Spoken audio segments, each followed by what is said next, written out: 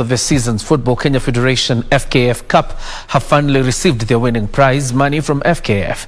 The club's Secretary General Samuel Ochola, while receiving the 2 million shillings, said that the club will honour all remaining league fixtures.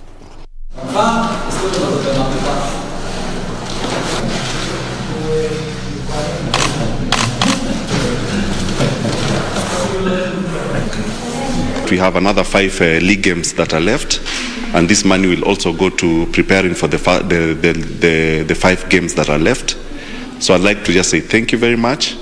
Uh, we hope that uh, the little bla- bad blood that has been there between us and your office, uh, we can bury the hatchet and we move forward. The money FC had not uh, gotten back to us, so we'll just check.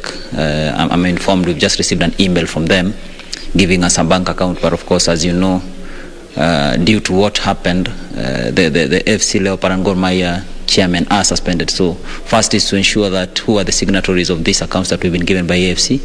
If uh, uh it, it, it contains the right people, then for sure we'll transfer money.